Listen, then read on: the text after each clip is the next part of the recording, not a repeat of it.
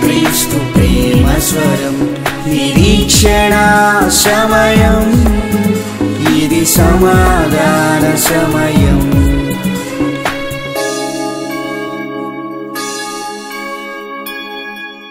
అందరికీ ప్రభు అయిన యేసుక్రీస్తు వారి నామంలో శుభాలు.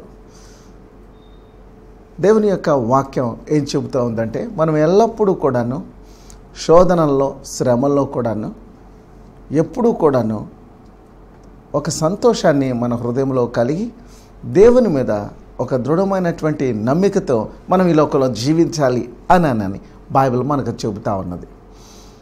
దుఃఖపడవలసినటువంటి విషయాలు పాపం కొరకు ఈ లోకంలో నశించిపోతున్నటువంటి ఆత్మల కొరకైతే ప్రతి విశ్వాసి ఈ లోకంలో అన్ని వేళల అన్ని పరిస్థితుల్లో కృంగిపోకుండా ఏసువైపు చూస్తూ ఈ లోకంలో విశ్వాసంతో సాగిపోవాలి. అప్పుడే మన జీవితం ఆనందంగా ఉంటుంది. నిరీక్షణ సమయం కార్యక్రమాన్ని మీరెంతో శ్రద్ధగా వీక్షిస్తున్నందుకు వాక్య సత్యాలలో మీ జీవితాలను నడిపించుకోవటానికి పరిశుద్ధాత్మ దేవుడు మీకు సహాయం చేయాలని నిత్యం ప్రార్థిస్తూ ఉన్నాను.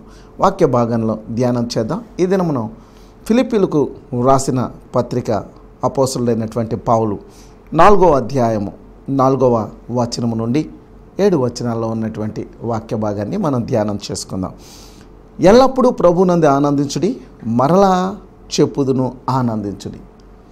మీ సహనమును సకల జనులకు తెలియజేయనీయుడి. ప్రభు సమీపంగా ఉన్నాడు దేనిని గూర్చి చింతింపకుడి.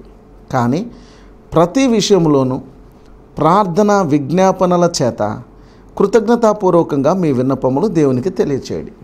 అప్పుడు సమస్త జ్ఞానమునకు మించిన దేవుని సమాధానము యేసుక్రీస్తు వలన మీ హృదయములకు మీ తలంపులకు కావలి నిత్యం భయముతోనూ ఆందోళనతోనూ దిగులుతోనూ విచారంతో మనుషులు ఈ దినాల ఈ దినాల్లో జీవించుతూ ఉండటం మనం చూస్తున్నాం.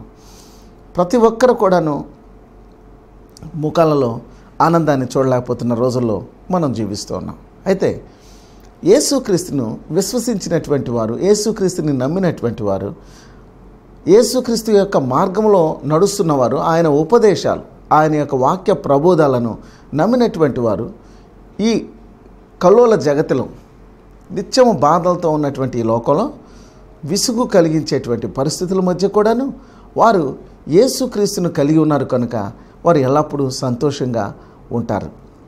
పౌలు అనేటువంటి ఈ భక్తుడు ఏం చెప్తున్నాడంటే మీరు ఏవో మీకు ఈ లోకంలో ఉన్న వాటిని బట్టో లేకపోతే అప్పుడప్పుడు మీరు సంతోషంగా ఉండండి.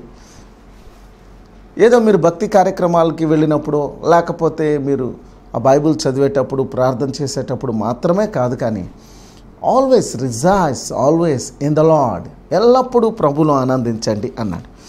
ఫిలిపీ సంఘంలో పౌలు మూడవ అధ్యాయం మొదటి వచనంలో కూడా ఇదే మాటను రిపీట్ చేస్తున్నాడు. మెట్టుకున్న సహోదరులారా ప్రభునందు ఆనందించుడి. అదే సంగతులను మీకు వ్రాయట నాకు కష్టము కాదు. మీకు ఇది క్షేమకరం సంతోషమే సగం బలం అంటారు చూడండి. అలాగనే పౌలు భక్తుడు ఏమంటున్నాడంటే ప్రభునంది ఆనందించండి అని చెప్పే విషయం నేను మరలా మరలా మీకు ఎందుకు తెలియచేసిన అంటే అది మీకు లాభాన్ని చేకూర్చేది. అది మీకు ఆరోగ్యాన్ని కలిగించేటువంటిది. పౌలు శీలలను వారిని బంధించి చెరసాలలో వేసినప్పుడు వారు ఈ ఫిలిపి అనేటువంటి పట్టణంలో ఉన్న జైల్లో వాళ్ళు అర్ధరాత్రి వేళ లేచి పాటలు పాడారట. ఆ సమయంలో ఆ పాటలు పాడుతూ దేవుణ్ణి స్తుతిస్తూ ఉన్నప్పుడు ఆ జైలు యొక్క జైలు యొక్క తలుపులన్నీ కూడాను తెరుచుకున్నాయట. ఖైదీల యొక్క సంఖ్యలు విడిపోయాయట. ఎప్పుడు అంటే జైల్లో ఉంచినప్పుడు అర్ధరాత్రి వేళ వారు పాటలు పాడుతూ ఉన్నప్పుడు యేసుక్రీస్తును కలిగినటువంటి వారు పౌలు ఇలా ఉంటారు అని తాను చెప్పటమే మాత్రమే కాకుండా అది తన యొక్క జీవిత అనుభవమైనది ఈనాడు మనం అనేకులకు అనేక విషయాలు చెబుతూ ధైర్యపరచవచ్చు. అయితే అదే ధైర్యాన్ని మనం కలిగి ఉన్నప్పుడు దీనిని మరికొంచెం ప్రాక్టికల్గా ఇతరులకు యేసుక్రీస్తులో ఉన్నటువంటి ఆ గొప్ప సంతోషము ఆ గొప్ప శాంతి ఆయన ఇచ్చే గొప్ప విజయం ఆయన మనకు సిద్ధపరిచినటువంటి వాటిని మనం ఇతరులకు తెలియచేయటం ఇదే మన జీవితం యొక్క అనుభవంగా ఉంటుంది. ఆ జైల్లో ఒక అద్భుతం జరిగింది. వెంటనే ఆ జైలు అధికారి వచ్చి అయ్యో ఇంకా నా ఉద్యోగం పోతుందని అని బాధపడుతూ తన చేతిలో ఉన్నటువంటి కత్తితో తను ఆత్మహత్య చేసుకోపోయాడట. ఆ సమయంలో పౌలు ఏమంటున్నారంటే అయ్యా నువ్వు ఆత్మహత్య చేసుకోవద్దు. మేమందరం ఇక్కడే ఉన్నాం. ఖైదీలు పారిపోతే ఆ జైలు అధికారి ఉద్యోగం పోతుంది కనుక మేము ఎక్కడికి వెళ్ళలేదు. మీరు ఆత్మహత్య చేసుకోవద్దు. మీరు ధైర్యంగా ఉండండి. నిజానికి ధైర్యం ధైర్యంగా ఉండకుండా బాధతో చింతతో అయ్యో మేము స్వార్థ ప్రకటిస్తున్నందుకు ఒక మంచి మార్గాన్ని ప్రజలకు తెలియచేస్తున్నందుకు ఒక మంచి పని మేము చేసినందుకు మమ్మల్ని జైల్లో వేసారని నన్ను బాధపడవలసింది పౌలు శీలలు కానీ వారు యేసును విశ్వసించినటువంటి వారిగా. ఇదిగో ఈ వ్యక్తికి ధైర్యాన్ని చెబుతున్నారు. ఏమనంటే నువ్వు ప్రభుని యేసుక్రీస్తునందు విశ్వాసం ఉంచు. అప్పుడు నీవును నీ ఇంటి వారు కూడాను రక్షణ పొందుతారు. మీరు సంతోషమైనటువంటి జీవితంలోనికి మార్గంలోనికి యేసు మార్గంలోనికి మీరు వచ్చిన వచ్చి ఆనందించేవారిగా ఉంటారు అని అని చెప్తాడు. ఐదవ వచనంలో మీ సహనము సకల జనుల ఎదుకు తెలియజేయనియండి. ప్రభు మీకు సమీపంగా ఉన్నాడు. ఈ లోకంలో చింతలతో బాధలతో జీవితాన్ని వ్యర్థం చేసుకోకుండా క్రీస్తును నమ్మినటువంటి వారు ఆయన రాకడ కొరకు ఎదురు చూసేటువంటి రోజుల్లో ఉన్నారు కనుక పౌలు ఆనాడు ఫిలిప్పి సంఘానికి రాస్తున్నాడు. ఇది చాలా కాలం రాసినటువంటి పత్రిక అయినా సరే ఒక్క దినము వెయ్యి వెయ్యి సంవత్సరాలతో సమానమైనటువంటి దేవుని యొక్క భాషలో మనం చూసినట్లయితే ఆయన దృష్టిలో చూసినట్లయితే ఇప్పుడు ప్రభు అతి సమీపంగా ఉన్న రోజుల్లో మనం ఉన్నాం. ఆయన రాకడకు అతి సమీపంగా ఉన్నాం. సహనము కలిగి ఈ లోకంలో దేవుడిచ్చినటువంటి ఈ చిన్న జీవితాన్ని దుఃఖముతోనో బాధతోనో గడపక సహనము కలిగి నాకు మంచి భవిష్యత్తు వస్తుంది మంచి రోజులు వస్తాయి. ప్రభు నన్ను దీవిస్తాడు ప్రభు మార్గంలో నేను సాగిపోతాను అని ఒక సహనముతో ముందుకు సాగాలి. ఆ సహనం కావాలంటే ఏం చేయాలో ఆరో వచనంలో రాస్తున్నారు కదా. ప్రతి విషయంలోనూ ప్రార్థన విజ్ఞాపనాల చేత కృతజ్ఞత పూర్వకముగా మీ విన్నపములు దేవునికి తెలియచేయండి.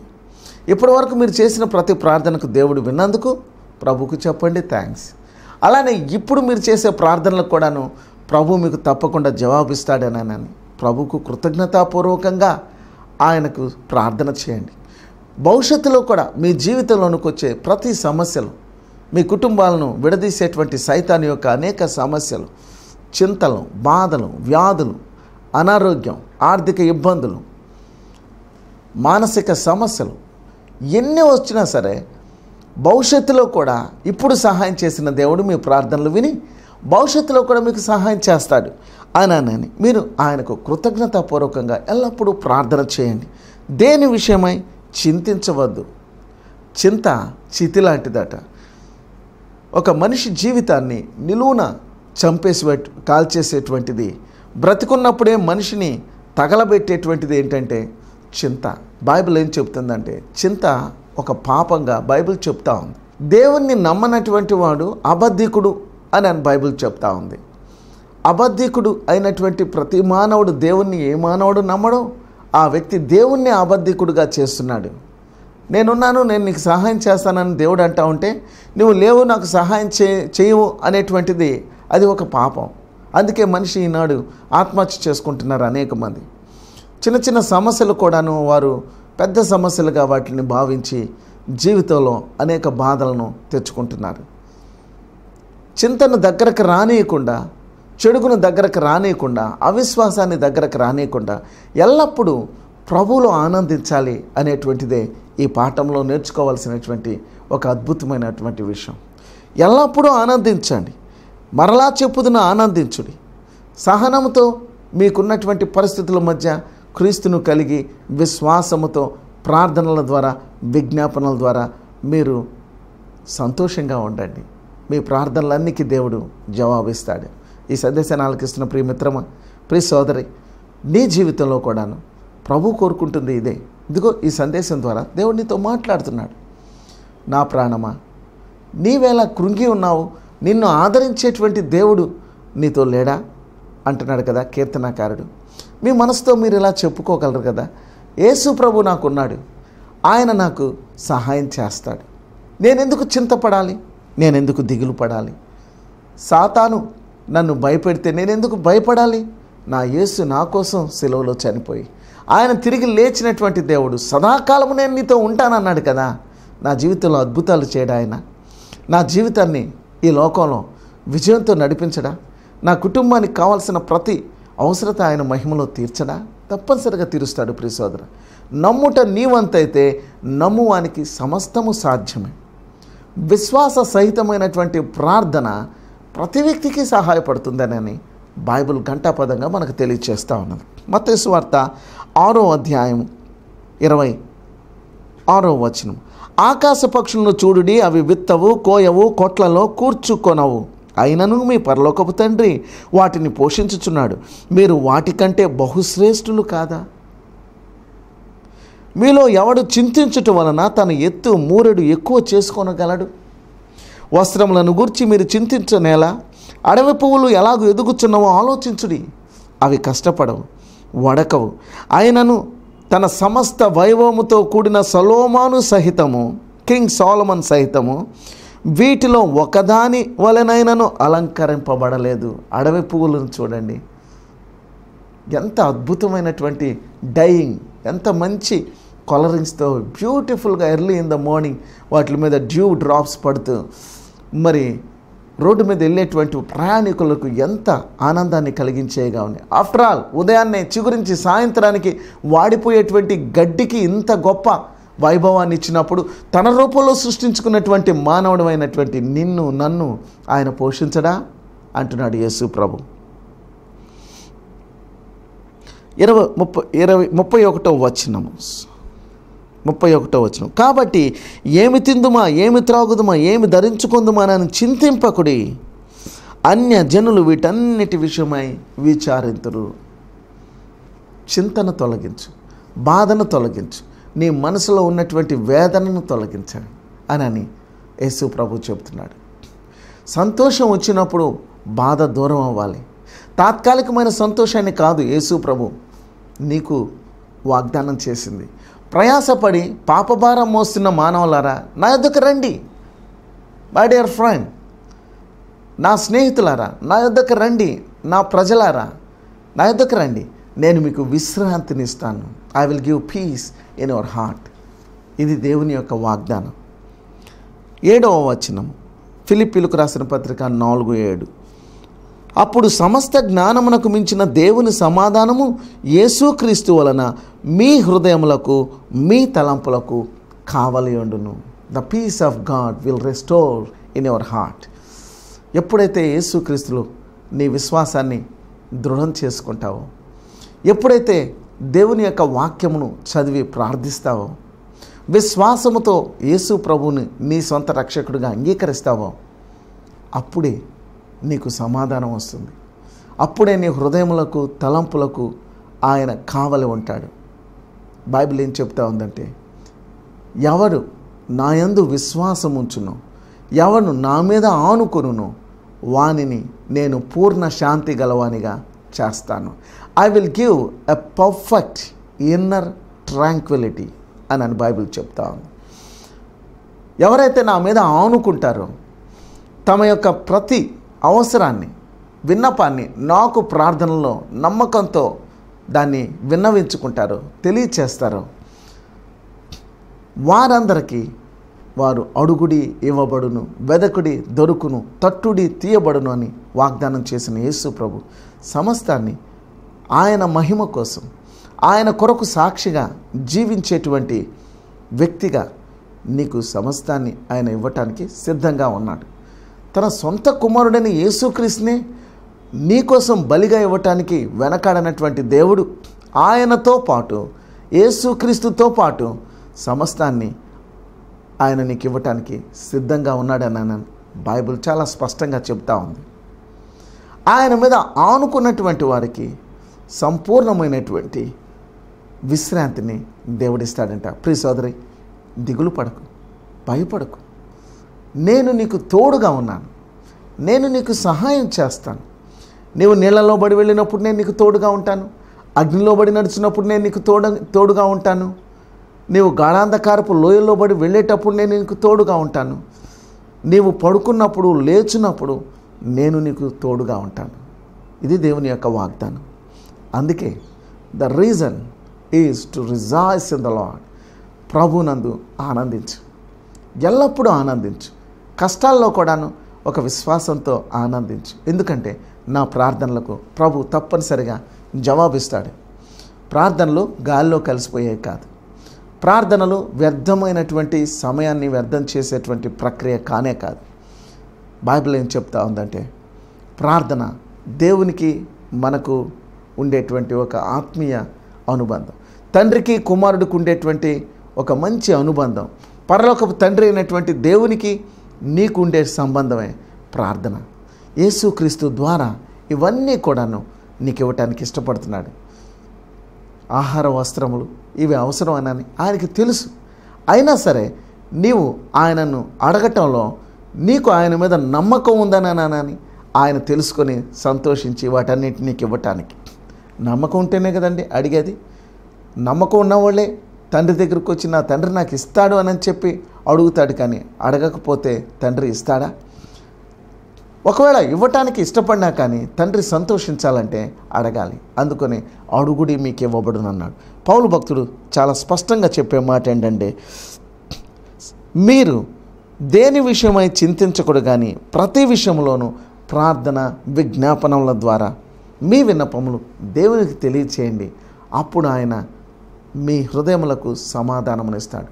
సమాధానం అనగా జవాబు సమాధానం అనగా నీవు ఈ లోకంలో చింతలేనటువంటి ఒక దైవభక్తితో కూడినటువంటి సంతృప్తికరమైనటువంటి శాంతియుతమైనటువంటి జీవితాన్ని జీవించడానికి ప్రభు సహాయం చేస్తాడు.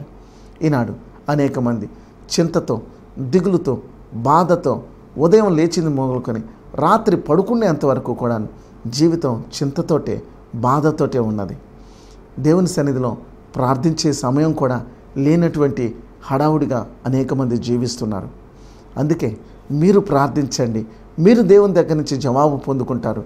ప్రభు మీకు సమీపంగా ఉన్నాడు. ఆయన త్వరగా రాబోతున్నాడు.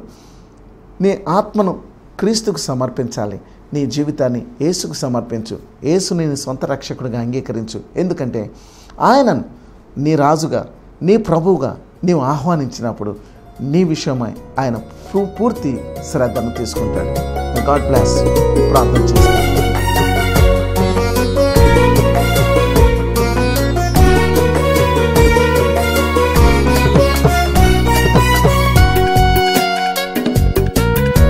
పరిశుద్ధుడా ప్రేమ కలిగిన తండ్రి ఎల్లప్పుడూ సంతోషంగా ఉండే జీవితం నీవు మాత్రమే మాకు ఇవ్వగలం.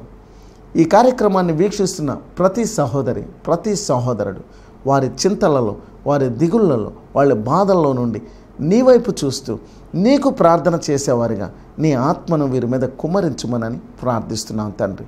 ప్రయాసపడి భారము మోసుకొంచున్న అనేక మందిని మీరు ఆహ్వానిస్తూ ఉన్నారు. తండ్రి ప్రతి అవసరతను తీర్చడానికి మీరు సిద్ధంగా ఉన్నారు. ఇదిగో మా ప్రియ సోదరి సోదరులు ప్రభు వారి కుటుంబాలలో వారి యొక్క వ్యక్తిగత జీవితాల్లో వారి జీవిత ప్రయాణంలో ఎన్నో అవసరతలు ఉన్నాయని వాటి విషయమై చింతిస్తూ చికాకుగా ఉండకుండా నీ వాగ్దానాలను జ్ఞాపకం చేసుకుంటూ ప్రవ్వ నీవు ఈ లోకంలో ప్రతి వ్యక్తి విషయమై శ్రద్ధ తీసుకుంటున్నావు అని నీ ప్రేమను గుర్తిరుగుటకు మా ప్రియ ప్రేక్షకులందరికీ సహాయం చేయండి. ప్రతి బిడ్డను ప్రభు ఈ సమయంలో కృంగి ఉన్నటువంటి వారిని ఏసయ నీ నామంలో లేవనెత్తండి. నేను నీకు సహాయం చేస్తాను. నీ ప్రార్థన నేను వింటాను. నేను నీకు సహాయం చేస్తానని ఒక గొప్ప వాగ్దానం ప్రతి ఒక్కరికి ఇస్తున్నందుకై వందనాలు.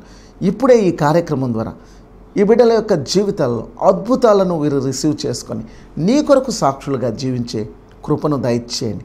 విశ్వాసాన్ని దయచేయండి.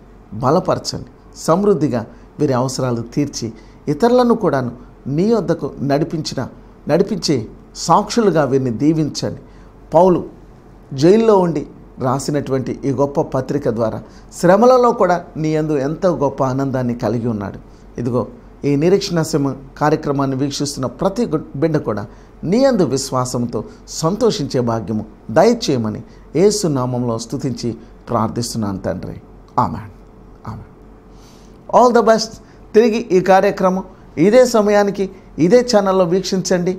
మీరు ప్రార్థన చేసుకుంటూ మా ప్రార్థన కూడాను మీరు కోరినట్లయితే తప్పకుండా ఈ స్క్రీన్ మీద కనపడుతున్నటువంటి నంబర్కి ఫోన్ చేయండి. ఒకవేళ మీరు గుంటూరు పట్టణంలో ఉన్నట్లయితే ప్రతి ఆదివారం నెహ్రూ నగర్ ఏడో లైన్లో ఉన్నటువంటి హౌస్ ఆఫ్ ప్రేయర్ ఫెలోషిప్ ప్రార్థన మందిరంలో జరిగే ఆరాధనలో మీరు తప్పక పాల్గొనవచ్చు. దేవుని యొక్క దీవెనలు నిండుగా మీరు పొందుకోవాల్సిందిగా ప్రేమతో ఆహ్వానిస్తున్నాను. ఆల్ ద బెస్ట్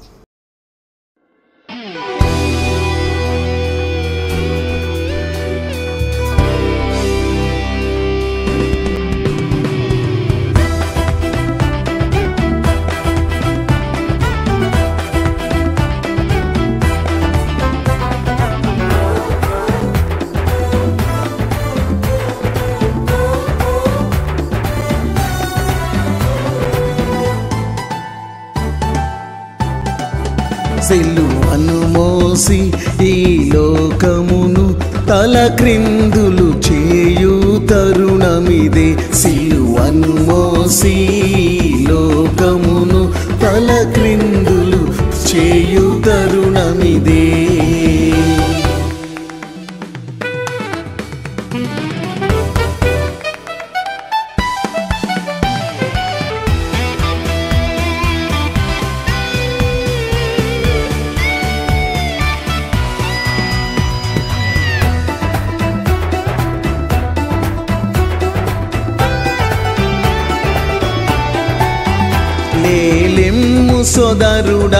నిద్ర నుండి ప్రకటించను ఏసునామమును లేలెమ్ము సోదరుడా నిద్ర నుండి ప్రకటించను ఏసునామమును సోమ మారియేలా నిద్రించెదవు.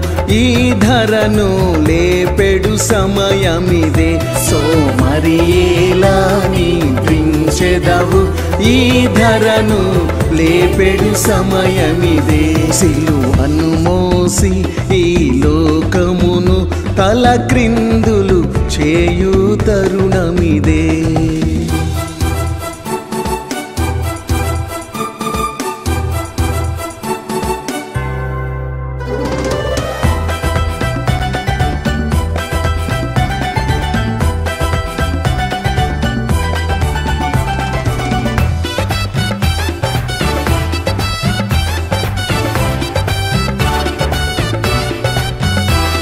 పరిశుద్ధాత్మ కవచము తొడిగి నీ నడుము కట్టి తయారగుమా పరిశుద్ధాత్మ కవచము తొడిగి నీ నడుము కట్టి తయారగుమా. సోదరుడా ప్రతి వీధికి వెళ్ళి సువాతను చాటెడు సమయమిదే. సోదరుడా ప్రతి వీధికి వెళ్ళి సువాతను చాటెడు సమయమిదే. సిలువను మోసి లోకమును తల క్రిందులు చేయు తరుణమిదే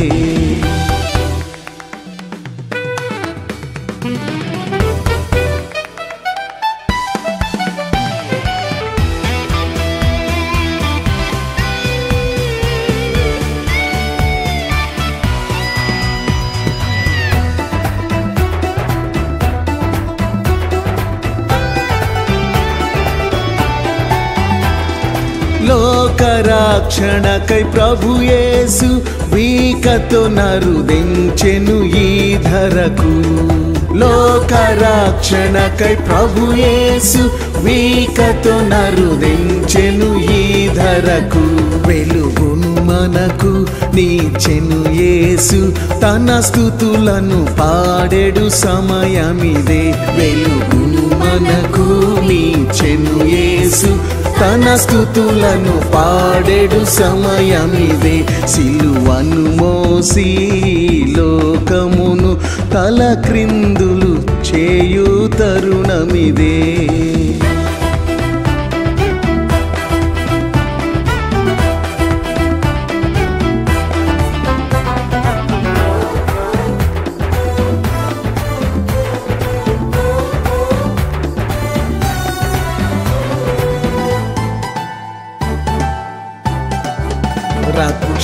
రక్షింపబడుట కాసించినచో పశ్చాత్తాపడు మీ దినమే. రక్షింపబడుట కాసించినచో పశ్చాత్తాపడు మీ దినమే. కలుషాత్ముండ తడవేలనికన్ కనుమాని తీర్పు సమయమిదే. కలుషాత్ కాకుండా తడవేలని కన్ కనుమాని తీర్పు సమయమిదే. సిలువను మోసి ఈ లోకమును తల క్రిందులు చేయు తరుణమిదే. సిలువను మోసి లోకమును తల క్రిందులు చేయు తరుణమిదే.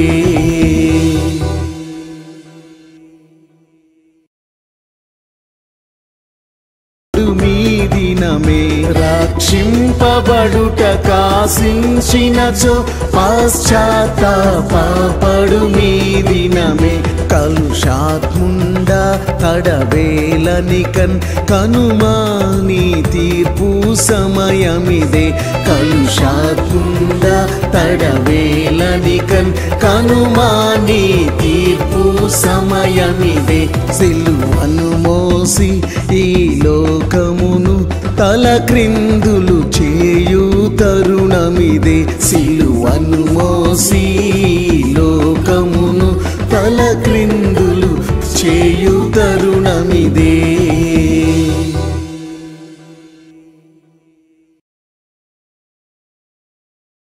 ఒంటరితనముతో ఓదార్పు లేక ప్రేమించేవారు లేక జీవితంలో నిరాశ నిస్పృహలో ఉన్నవారికి ఆ ప్రభు ప్రేమను రుచి చూడాలని మీ జీవితాలను మరియు మీ కుటుంబాలను ఆనందంతో నింపుకోవాలని ఆశపడేవారికి ఇదే మా ఆహ్వానం. మన గుంటూరు పట్టణంలో నెహ్రూ నగర్ ఏడో లైన్లోని House of Prayer Fellowship Church నందు జరిగే ఆదివారం ఆరాధనకు మిమ్మను ఆహ్వానించుచున్నాము.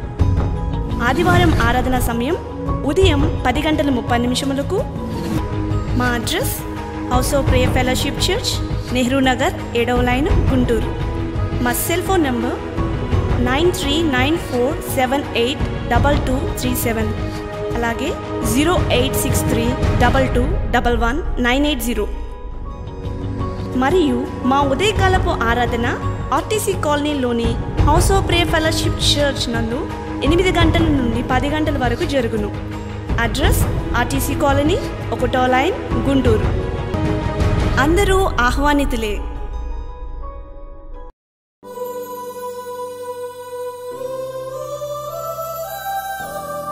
దేవుడు మిమ్మను దీవించునుగాక. ఆమెను.